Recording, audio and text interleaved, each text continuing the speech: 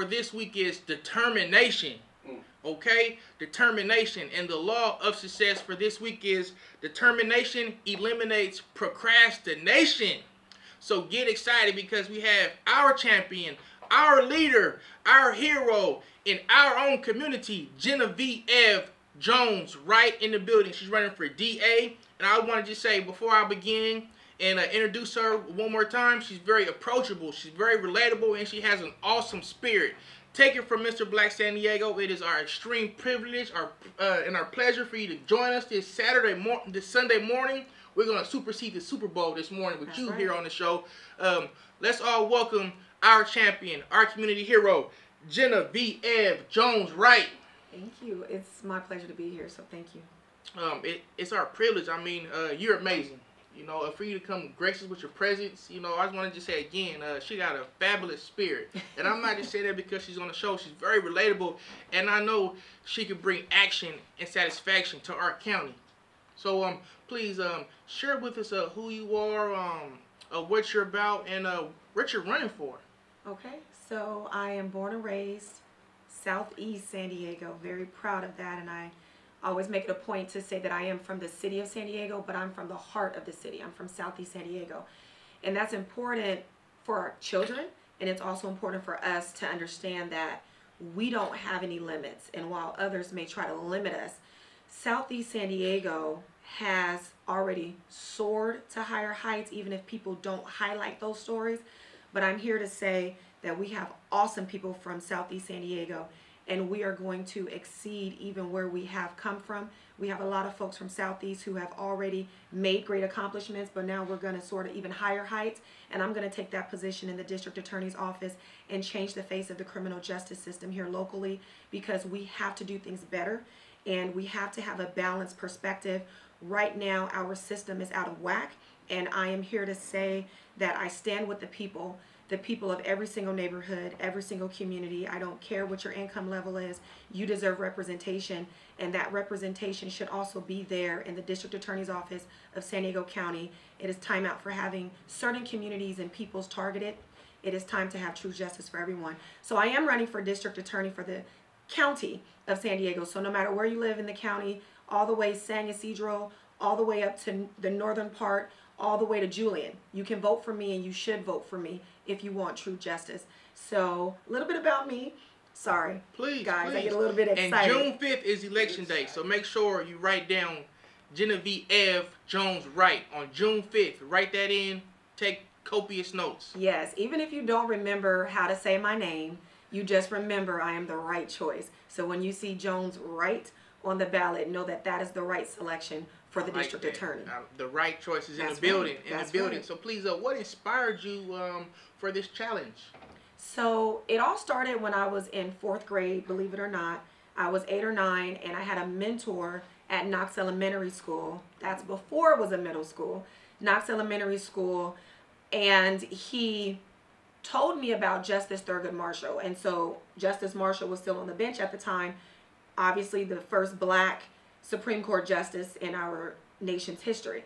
And I remember learning about Justice Marshall and thinking, I want to be like him. I want to use the law to make our nation better and greater. And I want to use the law to actually make our world better. And so I decided as a fourth grader at Knox that I would be an attorney, but not just any attorney. I had to be just like Justice Marshall, and I had to be trained like like him. And so I decided I had to go to Howard Law. And so in the fourth grade, no one in my family had ever even been to college. I went home and I told my mom, I'm going to go to Howard Law and I'm going to be an attorney. And so it was always in my heart to use the law to do better and to make things better. This portion of my path is just that. It's just a part of the journey that God has placed me on. So when I first thought seriously about the district attorney's office and running for it, it was last year. I started a leadership institute and the very first day, which was the day of the women's march last year, if you can just imagine this. And they had asked questions about what are the things you're passionate about? What are the problems you would like to solve in the world? And everything I answered related back to criminal justice reform. And at that moment, just a little over a year ago, I said, Why are you running from this? This is your destiny. And so I decided that I would do it, but I first spoke with God about it and I said, if this is from you, I will do it. If it's me, it's not worth it. Once I got that confirmation, that was it. It was foot to the pedal. There's no stopping. We're going to win this on June 5th. Do you hear that? Do you hear the determination? Do you hear the drive? Do you do you feel the fire? That's destiny we're speaking of, and you know, speaking to our higher power. It's not about us. It's not about uh, the ego. It's about the we go. It's about the people. And I'm Absolutely. telling you, this this woman right here has it, and she's homegrown here in San Diego. Absolutely. And um, I definitely believe in her. On June 5th, make that right choice, okay, and vote for Genevieve. Okay, Jones, right. We'll get there. We'll get there right. A lot of folks say Genevieve. How how do you pronounce uh, your name? Genevieve. Genevieve. And you know, I let people slide. You oh, know, he let me slide. I, I, let you slide. It's all good. Just get it right on the ballot. just get it right on June fifth, and that's why uh, I just want to say, um, just the um, the strides that you've already made is, is visible waves, and um, has inspired I know a whole generation of, of young of young women and of young women of color when they see uh, a woman of your caliber have grace and posture and represent herself um, at a high level and I just want to just applaud you and commend you on that. Um, you know, you're an inspiration to me as well, um, and to the young black and business nation. So I mean, we got to get out and we got to rock the vote and we got to make the right choice on uh, June 5th. Yes, and it's important we continue to say June 5th because a lot of people think that we're going to go to November and we're not. Correct. This race will be decided on June 5th, and I'm up against a corrupt political machine. If you remember last year, the district attorney herself stepped down in order to put in her hand-picked successor. And so we're talking about someone who believes that they're entitled to a seat. And when you talk about people who hold power, we have to look at the structure of the district attorney's office. We have to look at who's had that seat. We've never had a person of color, let alone a black person, and yet we are most impacted. We are most impacted by the mass incarceration machine, and yet we don't have a say at the decision making table. And so when you talk about the power holders, they will do anything to maintain that power because it keeps their pockets fat. It keeps the people who keep prison doors open happy. And I am running against all of that. And so we have to show up and say, it is a new time and it is time to do things differently. The people want to be heard and the people want representation. And the people are tired of mass incarceration. That is plaguing the black community. It's tearing apart families. It plagues everyone, the black and brown community especially. And it is time out for that. And so we have a chance. We have an opportunity on June 5th. And I am confident that the people who want change will show up and they will tell their neighbors and they will tell their family, their friends, their church members what the right choice is because it's time to do business differently, not business as usual. Absolutely. We totally agree. And uh, this woman on June 5th is in the process of breaking the prison, uh, the, the cradle to prison pipeline. Absolutely. We, we have to break that cradle to prison pipeline. Uh, they already have our life expectancy uh, determined by our zip codes. Yes. And we need to change business. Absolutely. And we have the opportunity on June 5th. Yes. How could, um, what are some of your handles? Um, how could we, um, outreach to you? How can we join your campaign? Uh, how can we get involved? We're already excited. How can we get involved?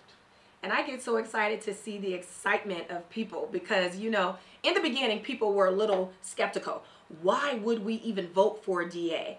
Because you can actually have a DA who represents you and fairness and justice and dignity for everyone.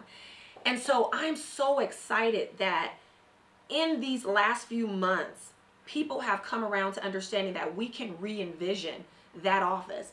For so long, the DA has been seen as a person who could do no good. But I want us to reimagine the role of the district attorney and see that the DA has the power to do good. And so when we talk about how you can reach out, joneswrightforda.com is the website. You can go there. You can sign up to be a volunteer. It is F-O-R and not the number four. That's important for the website. For Twitter, for IG, it is Jones Wright. The number four, DA, those are my handles. I'm on Facebook. Like my campaign page, follow it. I don't do anything but speak the truth. I don't know how to be a politician. I'm not a politician. So I'm halfway playing this political game. I just speak the truth to power, and that's what we need. I get so tired of so-called leaders who have no courage. And so when you want to donate to me, you have to check a box and say you are not affiliated or associated with private prisons mm-hmm. because I've been fighting against the prison industrial complex since I've been in college. And that is something that I am not having. And we have a lot of leaders here locally mm. who accept funds and donations from private prisons and claim to be on the side of the people. And we have got to change that mentality because you cannot take those funds and you are a part of the oppression of black and brown people. Beautiful. Okay. So you should have your young black in the business pen out right now taking copious notes. The first note you need to take is make the right choice on June 5th. Okay, for Jenna Eve Jones. he was right, doing so well, y'all. He was doing so well. Because I see it, it's spelled. Yeah. But uh, let's just say, let's make the right choice okay, and make the right choice on June 5th. At this time, I'm gonna present you with a Young Black in the Business Power Pen. Yes. So you can um, it's power in the pen. Absolutely. So when you're making those policies and, and the ordinances, you could um, you know, just keep us small people in mind. You know, you sort of say. I want to say this: you are not small, and I'm gonna tell you, our community is not small, That's and right. I, I really do love this pen. So thank you for giving it to me because I always tell young people that we have to hold our pen and never let it go. Mm. Because when we allow for another person to pick up the pen and write our story, we have lost power. Mm. And so I have always determined that I will write my own story. People try to write me off. You are a product of a single family home. Mm. You live in Bay Vista apartments. You are for, from a low income background. You're from Southeast San Diego. You're black. You're a woman. They've always tried to tell me what my limitations were, and I've never accepted that. And so we have to understand that we have to write our story. And that's why I love you, Roosevelt, because you write your own story. Mm. And we have to get to a place where we are telling everyone, hold your pens. Are you selling these young black and in business pens? Oh yeah. Oh yes, I do. Yes, I do. Everybody needs to get one. Remind yourself we need to hold our pens, never let it go, and write our stories. Because as long as the hunter writes the story, the lion will always look as if he is oppressed and suppressed. But we are lions, and our we need to write our stories as lions. Okay, and I'm gonna just say that's not a lying lying right there. She's not lying. She's telling the truth Absolutely. right there. Okay, so take copious notes. Make sure you get out and make that right choice on June 5th. We want to thank you again for tuning in to the Young Black in Business Show. We just want to reiterate the word of the week is determination. And as you can see, we have a determined woman in the building, and that's from our community that's representing our county. How big is that? The law of success for this week is determination eliminates procrastination. We need to get up. We need to get out. But whatever we do, we don't need to give up. Okay, on June 5th, get out and rock the vote and make the right choice. We wanted to say that here at the Young Black in the Business Show, we start with a commitment, we deliver with quality, and we're always going to finish with success. So on June 5th, make sure you get out and make that right choice and we can all be successful healthy and happy in our own community. We want to just uh, thank you again for coming out to the show. We're about to take a brief commercial break but before we do um, where do you see our county in 100 years? You got one minute. One minute to tell you where i see our county in 100 years. Let me tell you i see black people at the dais. Mm. i see us not just limited to the fourth district in city council. I see us representing other districts. I see us as board of supervisors. I see us as mayor. We've never had a black mayor. And let me tell you something, we're going to have about four or five in a 100 years. Okay. I see us in the positions of power that we need to be in, representative of who we are. And so that's where I see us. I see more and more black lawyers because we don't have enough of them.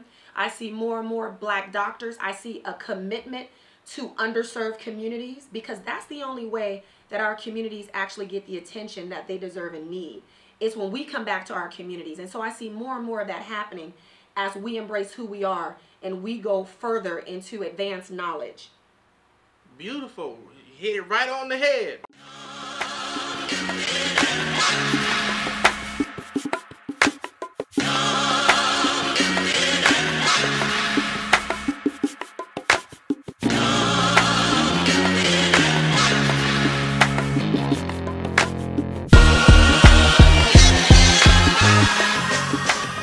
Young Black in the Business, we are restoring the color, the culture, and the consciousness. We believe that our network is our network. connecting young black entrepreneurs in San Diego and across the nation is pivotal for our economic growth. When they see us, we're gonna be wise, we're gonna be beautiful, and we're gonna be strong. And that's all they ever gonna see when they see us. And that's young, black, and in business.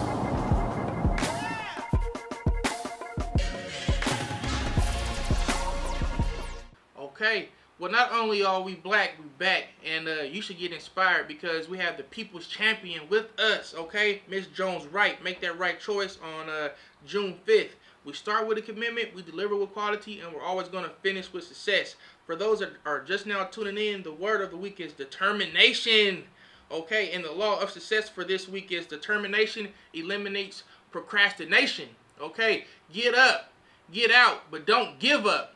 But now it's time for you to get excited because we have our community champion in the building with us, Jenna Eve. okay, Genevieve yes. Jones, right? Excuse me, you're gonna crucify me. No, you know what I mean? All good. But I'm gonna make that right choice on June 5th, that's and that's right. all that matters. That's make that right. right choice on June 5th. So please, um, what are uh, some policies that you like to implement? So the first thing that I want to impact is the school to prison pipeline. And so you talked about the cradle to prison pipeline, and that's actually the better name for it. Because we see that as a state, we are investing at least $62,000 on each inmate per year. You say again for me, please? That's a lot of money. Oh, yeah. Over $62,000 per inmate per year in Mm-hmm. our prisons, right? And that's what we're doing as a state. If we actually took that money, it would pay for 15 children to go to preschool. And what we know is that when you go to preschool, you're 28% less likely to be incarcerated. And so we are actually needing to call this the preschool to prison pipeline. And that's why I like the cradle to prison pipeline because we have shown as local governments, as states, as a federal government, we really don't care about our children. When we look at where budgeting takes us, when we when we follow the money, we're seeing that we would rather invest in the prison industrial complex than our own children. And so we have to get to a place where it's not true anymore that African American kids are three times more likely to be kicked out of preschool than their white counterparts. That was a federal study. And so you talk about this school to prison pipeline, it does not start in high school. It is starting in preschool.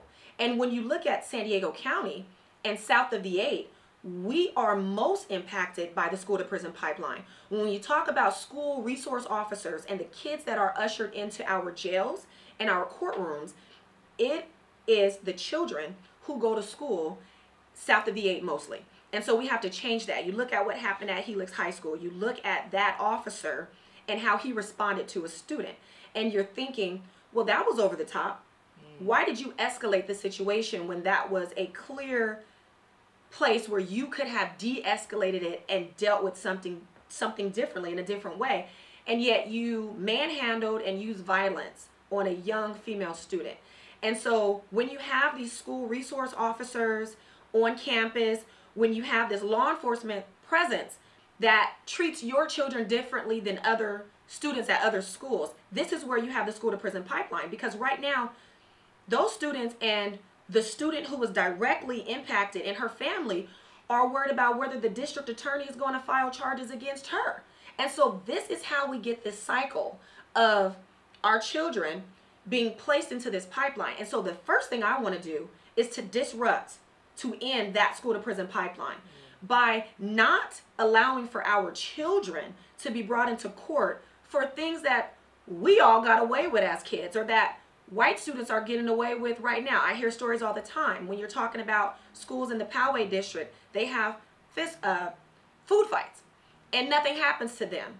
And a parent came to me and said, well, this one time a black student engaged and that student was suspended. Well, why is there unequal treatment? And so we have to talk about the reality. When you have a district attorney who can make a decision about the lives that they will impact and say, you know what, I'm going to push this back to the school administration because this has no business in our criminal justice system. That is the role of the district attorney to refuse to prosecute children for being children. And something should just be left on school grounds. And so that's the first thing I want to do. I'm very passionate about our kids. A lot of the things that happen at Lincoln High School, you know, I'm sorry, you gave me a microphone. I'm going to talk.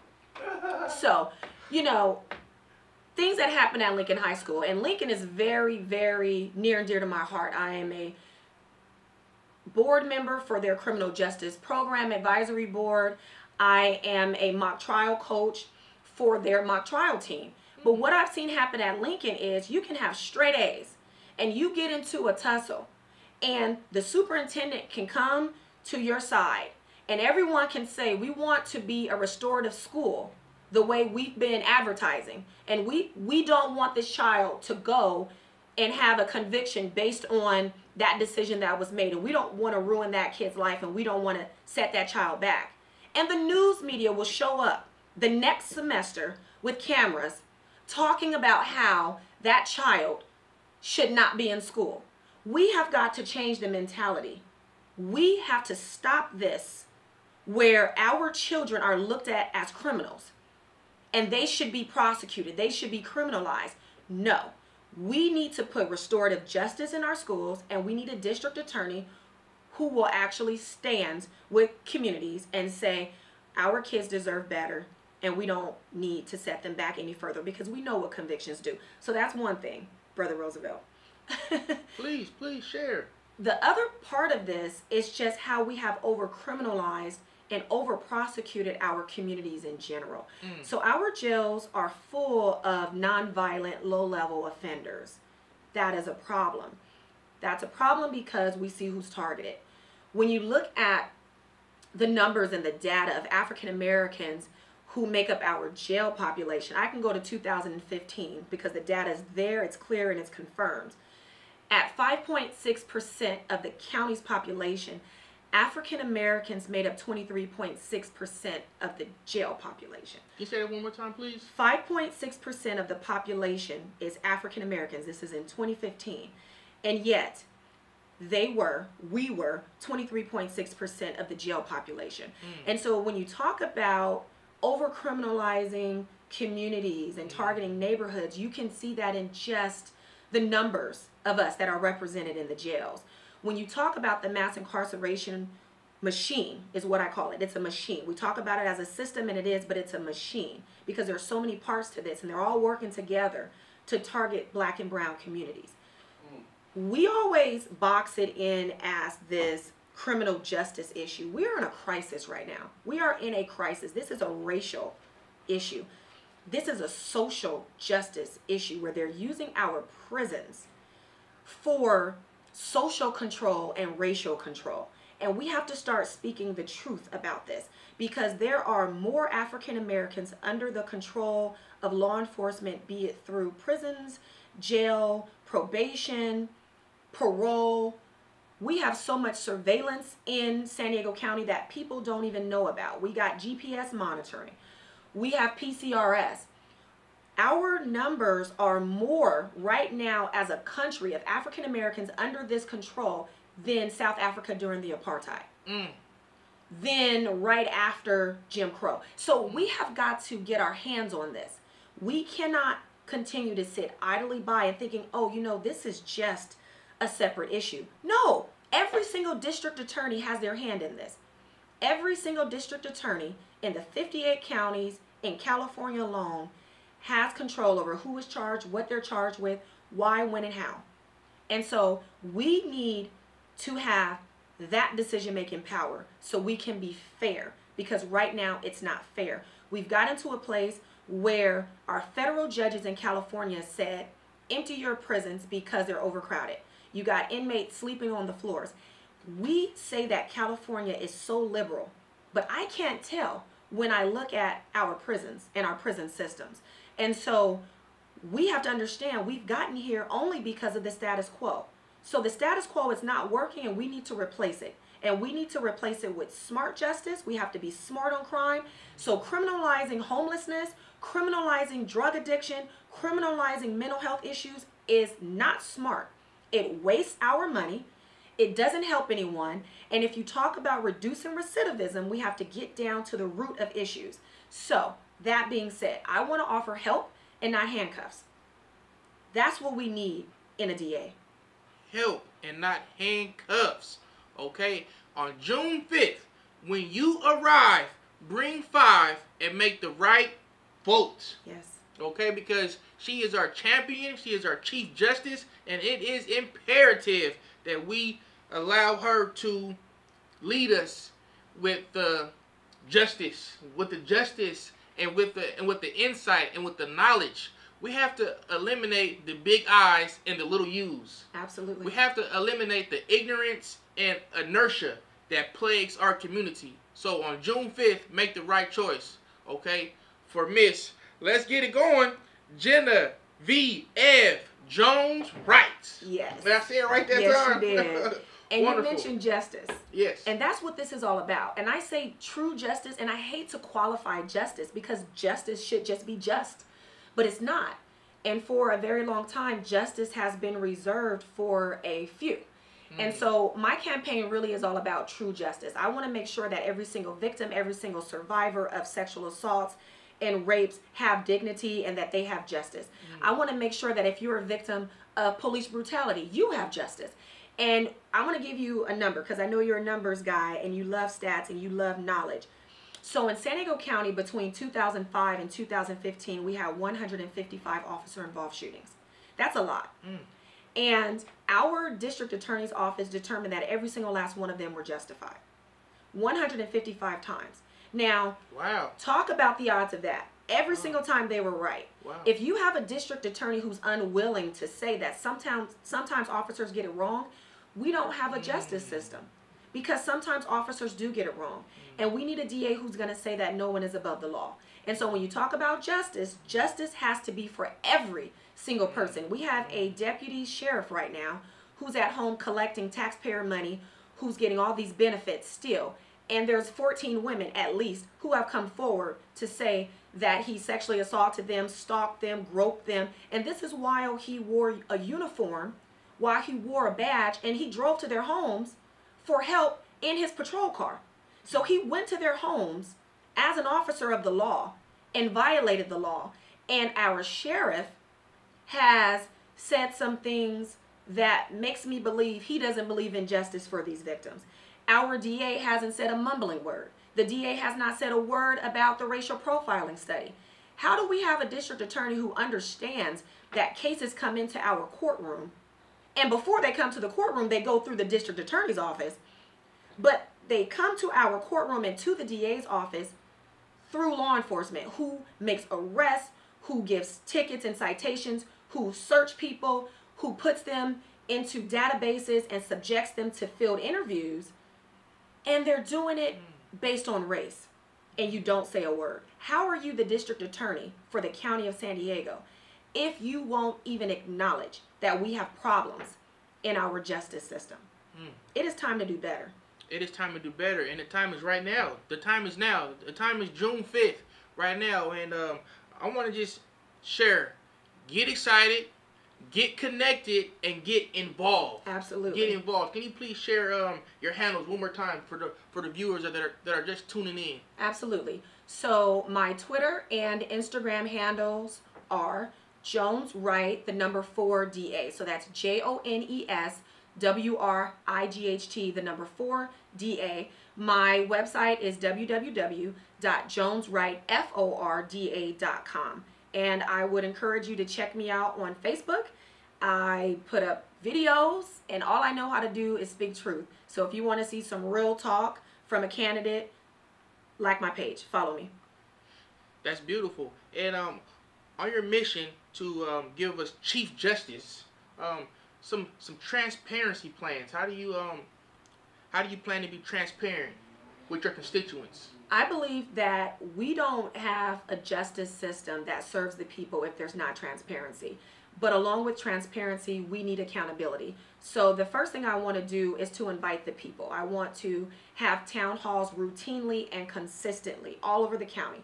I am already starting these. They're called public safety town halls, and my first one's going to be in Chula Vista at Mangia Italiano on 3rd Avenue. That's going to be on February 28th. My whole thing is that I don't necessarily know the issues that touch people's hearts. And as I've been campaigning and on the campaign trail, I've met a lot of people who have a lot of issues they want addressed. And every time I speak with them, I listen. And I go, and if I don't know about it, I do the research. And I say, this is how we're going to handle that. And so the first thing is to bring the people in because for a very long time, and it's still going on, our elected and public officials believe that they can sit on some hill and look down on the people they are supposed to serve and tell them what's best for them. But a lot of our people are not in the community or of the community. And so their ideas don't work necessarily, or they think something is a problem, or they don't know something is a problem, and it's the exact opposite for the people they're supposed to serve. So my thing is, I want to be the people's choice, and I am the people's choice, so I have to listen to the people. So I want to encourage everyone to reach out to me. You can message me, I message back. No matter how busy I am, I will answer back to you personally. So the first thing is I want to get people involved. The next thing is that we have to have transparency and a consistent policy about how body worn camera is going to be released and when are we going to release it to the public. That is something that I'm working on. I have a big idea about it. I will unveil that later. The other part about transparency and accountability, I talked about the officer involved shootings. The people will never believe that the district attorney actually investigated and vetted these officer involved shootings to the fullest and with fairness if the process is not transparent. So I want to have an independent unit in the district attorney's office that would review officer involved shootings, but not just shootings, anything officer related where there's excessive force. I can tell you now that as a public defender, a lot of my clients come to me, they're battered, they're bruised, they have black eyes. I look at their booking photos and you can tell that they were manhandled and excessive force was used against them to facilitate or to effectuate their arrest and nothing ever happens. We need an independent unit in the district attorney's office that will look at those things and say, was this officer wrong? Mm. And in order to do that, the process has to be independent.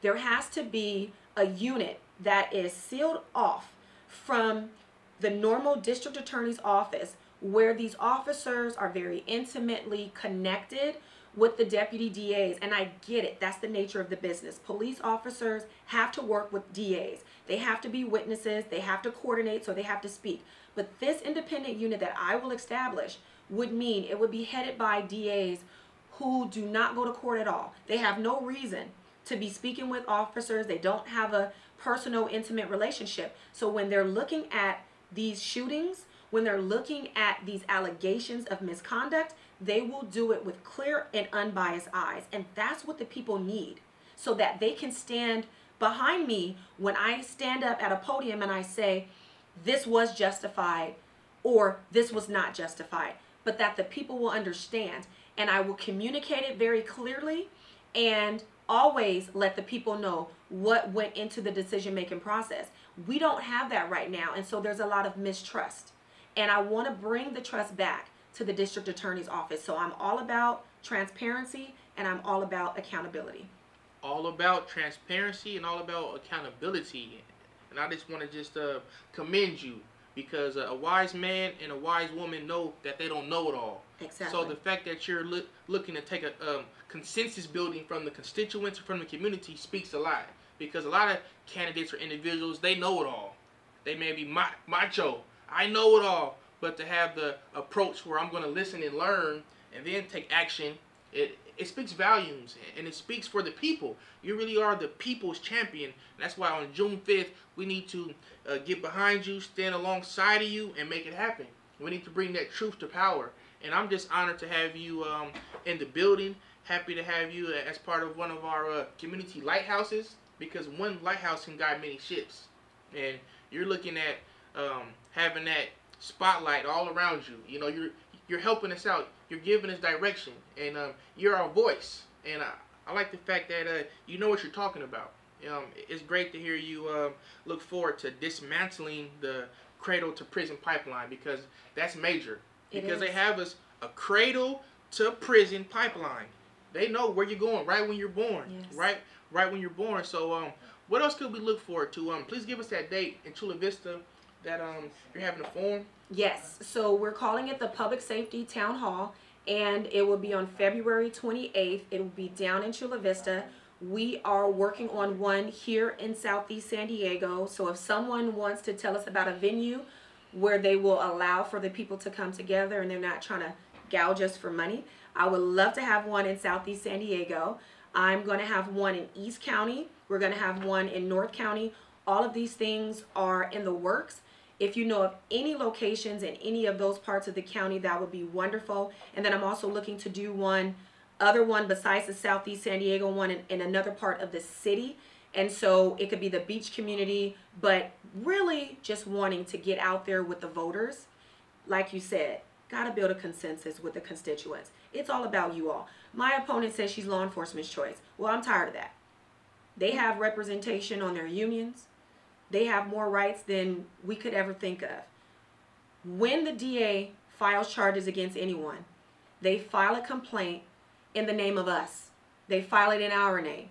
Every single complaint says the people of the state of California. So how do you feel comfortable having a banner on your website declaring that you are law enforcement's choice? I want to be the people's choice. I want to hear from the people because the people are being affected by what's coming out of that office. And so we need leaders who are going to stand up for the people. And that's why I say I'm not a politician because I ain't saying stuff to be political. I'm not saying anything that a politician would say. I'm telling you that I want to know what's important to you. I want to know where your expertise lies because, yes, I've been racially profiled. But I can't tell a mother who lost her son to police violence how that feels. So I want to hear from community members because you all are the experts of your life and your lives are all impacted by policy making decisions that are coming out of Sacramento. And that's another thing. People don't think about the district attorney's office lobbying power. Mm. They lobby in Sacramento. They have a full-time paid lobbyist. So while they're trying to attack me and say I'm going to be an activist DA, yes I am. I am down for bail reform. I have been working on that issue with the ACLU before I was a candidate. I am still a bail ambassador. I believe in bail reform because we need it. We are impacted most as African Americans. The Latino community is impacted. And let me tell you something. The district attorney's office has made it their business to oppose bail reform. And they've made it their business to oppose other common sense legislation in Sacramento. So we have a fantastic opportunity to get someone who will use their lobbying voice and their strong power in Sacramento to say, let's do things better. And so talking about things that they have opposed that make no sense at all. My opponent says that she is the, a national expert on human trafficking. And San Diego is a hot spot for human trafficking. If you look at the numbers, we're in the top 13 in the country. We have a lot of human trafficking, sex trafficking that happens in San Diego and it's happening right under our eyes. And so there's a problem there, right? But we can't address the problem if we are stigmatizing victims of human trafficking. And my opponent and the DA's office spent money, taxpayer money, to send their lobbyists to Sacramento to oppose two bills. One bill was to help human trafficking victims get rid of their convictions that they got as a result of being human trafficked. Let me say that again. They wanted to keep human trafficking victims from clearing up their record as a result of the convictions they got from being human trafficked. That's just not common sensible, but you stand there and say you want to help survivors of human trafficking. Then why would you want to set them back? The other bill they opposed was to decriminalize kids who were human trafficking victims. That means they wanted to continue to prosecute our babies who were human trafficked. Luckily, we have a strong Democratic presence in our state Senate and our state assembly, and so these bills passed. But what are we doing when we have a DA who one side of their mouth says being a teenage prostitute is not a choice, it's slavery, but you want to prosecute those same teens? Mm. What is it saying when you say being human and sex trafficked, these people are not prostitutes, they're victims, but you want to set them back and hold them with convictions that they're going to have to keep repeating on job applications. Things that employers and potential employers would be able to look at. That is shameful. And so when you talk about being smart on crime and smart justice and having common sense, We need someone who's not looking towards convictions. And that's someone like me who's going to bring a balanced perspective. I have a balanced perspective because I'm representing these people. I represent our veterans. I represent young people, 22 years of age, who made a mistake and they want 40 years to life on. So mm. that's the perspective we need. Someone who understands that it's not about convictions all the time. Absolutely. Um, uh, we need to eliminate the double talk and get straight talk. Absolutely. And I'm gonna just say that um, in the next two minutes, please have your questions ready because we'll am- answer some Facebook Live questions um, for our, our champion, Jenna V. Ev Jones Wright. Make that right choice on June 5th. And I just want to just give a, um, a shout out to you because uh, you are. Um, you are exemplary. You are practicing a formula that I'm gonna give everyone that has their young black and in business pens ready. It's P over P equals S. P over P equals S, and it stands for performance over politics equals success. You have to perform, okay? Performance over politics equals success. So get excited, get connected, and get involved. And what we mean by that is get pumped up. Tell somebody. Mm-hmm. Tell somebody about our champion, about what you learned today. Get connected. Outreach tour. Um, uh, send her a, a, message. Ask her a question. How can you get involved? And the next um, get involved is go out and vote. And when you arrive to the polls, bring five. We want to just say here on a Young Black in the Business show, before we take some questions from our audience, we want to start with the commitment. We're always going to deliver with quality and we're always going to finish with success. The word of the week is determination. Determination is the word for the week. And the law of success for this week is determination eliminates procrastination. So just don't pontificate. Get out, get excited. Whatever you do, don't give up. Okay, we got some hope in the um in the in the building and in our community, and uh, it's Genevieve L. Jones Wright. So we're gonna take a question. Um, from our audience on Facebook Live, they've been giving you a lot of love. You know, you're making a difference. We want to give a shout out to Brother Cornelius. Um, our DC, we see you. Um, we also have uh, Miss John. Uh, they're gonna follow you on Facebook. They're saying a real deal. You know, you really are the community's champion. You, you get love in the community, and um, because you're inspiring others, and you're actually waking us up, revealing the the veil over our eyes, and you're providing us with some esoteric information you're giving us what's going on down downtown and uptown and all around. I don't mean to be so cliche, but you're but you're informing us, and that's what we need. Someone that's going to give us the information and uh, give us that transparency and that accountability. You know, um, what are some of your uh, successful habits? Well, I'm gonna tell you this. Before I came here this morning, I already had two meetings, so I don't, I don't wake up in the morning and not thank God. That's the first thing. That's I wake right. up and before I even put my feet down, I say thank thank you God. And then I put my feet down and I say thank you God. Mm. So that's the first thing. Mm. You have to get in the habit of acknowledging who your source of strength and your power is. Every day I encounter a lot of negativity when I decided I was going to run, you know, you always have your naysayers, people who say, you're too young or you're not ready. Why don't you do something else? But when God tells you to do something, mm. you be obedient and you move. That's it. You just move. And so I never start my day without saying thank you. And so every 6 a.m. on Sunday mornings, I get with my two best friends from college and we do a Bible study. Mm. And that's every morning, every Sunday morning at six. So that was my first meeting. I meet with God first. Mm. Then after that, I made breakfast and I had a meeting with my campaign manager. What was on the menu for breakfast? Okay. so I had some kale and spinach infused eggs because you know you got to scramble the eggs and get your, your kale and your spinach in there. A little right. bit of cheese. I ain't gonna tell you about all my special cheese I do because okay. you know I, am in love with the Munster cheese and the Havartis and all that good stuff. Mm. But with a wonderful croissant and some turkey bacon. I do not do pork products. Mm. Those are not allowed in my home. I don't eat beef either. But mm. turkey bacon, the best right now, I'm plug Costco because they have the best turkey bacon. It is thick, it is juicy, and it is right. Okay. She's so, a real person. You see how she went into depth with that? And that's what we need. That's what we need. Very relatable. Okay. Yes. Um, So that was my breakfast. But I had breakfast with my campaign manager so we can debrief over the week. And then go forward and talk about strategy. You cannot undertake something like this and not have a plan. And you also have to have checkups.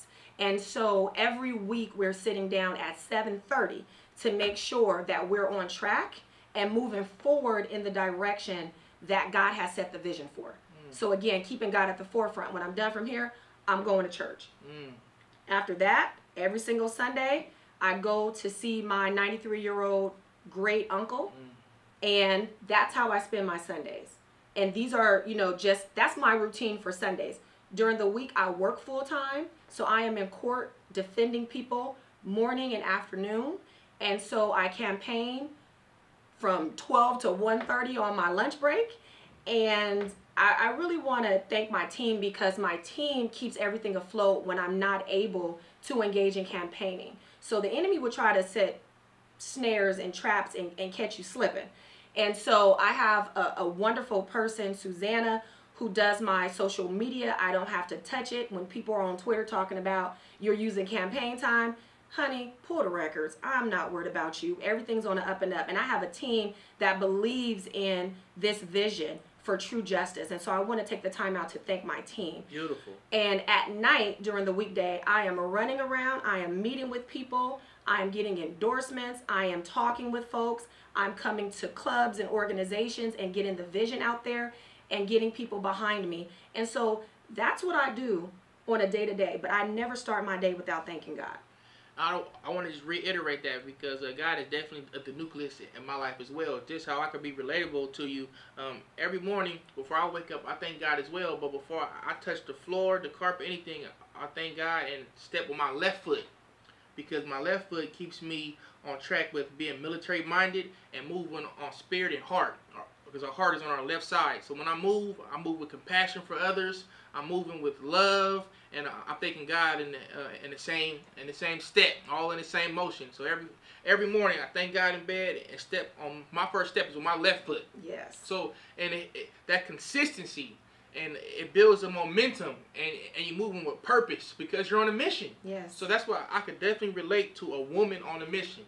And just to share with the viewers, February is our month for uh, women empowerment, uh, women in color and women just in general. It's time for us men to just um, take a step back and to pr protect our women. However, let them be in the forefront because they are powerful. You know, a woman is powerful. Women in general. So that's why we have to have our champion just come and just set the record straight and just because uh, she's spearheading the campaign. She's jumping on grenades for us in our community and in our county. So we have to just uh, take our hat off. We got to just tip it to her as man and get behind her and protect her as man. We have to represent. So it's an honor, it's a privilege, and we are to commend you for that. You know, and um, we got your back. Uh, I'm gonna let you know when you know when you when you wondering who got your back, we got your back. You're not alone in this race, and we just thank you for being that spearhead because you're spearheading the campaign and and you're determined and we can sense that. And uh, but just from sitting next to you, I know I got a tan because I feel the fire. I feel it. I, I feel the energy, and um and and I share on the radio show. Get excited. I'm excited. Okay, so on June 5th, get involved. Okay. We got Genevieve Jones Wright in the building. We start with a commitment, we deliver with quality, and we're always going to finish with success. The word of the week is determination, and uh, determination eliminates procrastination. So just don't be on Facebook and Twitter pontificating, all talking tough, talking macho. Get involved. Do something. Be be something. Get up, get out, but don't give up. That's right. So I mean, uh, what else would you like to share with us? What else? Is there any um vision cast? You know, vision cast. Uh, how would your first 100 days in office look like? well, I'm going to change the culture in that office. I'm going to bring more diversity to the office because there has to be diverse perspectives and there has to be diverse living experiences when you talk about deputy DAs who are issuing cases, who are reviewing charges and whether they should be filed when they come from the sheriff's department and police agencies from across the county. You need folks who don't have this vanilla life so they don't get that some things are implemented some stops. Start with race. And so I want to bring diversity. So when you look at the first 100 days, you're going to see that the folks who are representing us as deputy district attorneys will look like us and they're going to look like the people around in this community. I want to see more of my Muslim brothers and sisters represented. Hate crimes are up 117% in the county.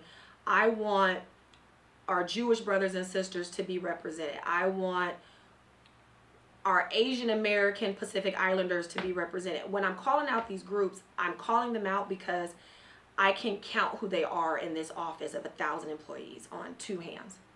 That's a problem. And when you talk about the folks who are in leadership, they cannot all look like one thing.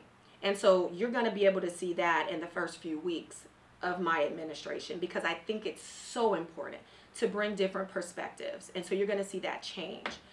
I talked about the school to prison pipeline. You're going to definitely see some impacts on that. You're going to see fewer beds in juvenile halls that are full. You're going to see that around the county, the DA's office will not be prosecuting encroachment and illegal lodging offenses because that's criminal to do that, in my perspective. You're going to see more people in diversionary programs, meaning if you have a low level drug offense, you are going to be able to get treatment and you're going to be able to not have a conviction as a result of you struggling with drug addiction. Because again, when you don't get to the root of it, this is how we have this cycle of crime. And so, my first tenet of my platform is to break the cycle of crime. If you continue to just incarcerate people who are struggling with drug addiction, you're only drying them out for a certain amount of time. They're going to get back out on the streets. They're going to use again. You're going to catch them with needles. You're going to catch them with heroin. You're going to catch them with whatever you're catching them with. That makes them go back into the jails. But if we say, go into the community and get help, and they do that, and after 12 to 18 months, they're good then why should they have a conviction after that? So you're going to see lower numbers in our jails because we're going to be helping more people. The DA is not going to be the gatekeeper keeping our veterans out of veterans court, keeping folks with mental illness out of our behavioral health courts. We have the courts. We just need people to not stand in the way of the people who need to be in those courts, our collaborative courts. That's what we call them. And so these are the things you'll see in the first 100 days. It's more people getting help more people getting help. And I just want to just uh, reiterate something powerful that you said was profound. We need help, not handcuffs. Absolutely. You know, just straight like that. We need help, not handcuffs, and um, that's just we're gonna push that for you as well. Well, um, we got 10 seconds left. I want to just you know thank you again uh, for attending the Young Black in Business show, and uh, we know that uh, your people is important and people in general. You know, uh, it's value and teamwork and uh, and diversity. So thank you for being our champion, and we look forward to. Um, building with you and riding with you. Absolutely. You know? So, uh, in conclusion, uh, you know, we're off the air now, but we're still Facebook Living. Wanted to say it's been a privilege. It's been a privilege, and uh, Thank you, for you got it. Me. So uh, June fifth, get out, and when you arrive to the polls, bring five and make that right uh, decision. Okay, for Miss Wright. Thank you.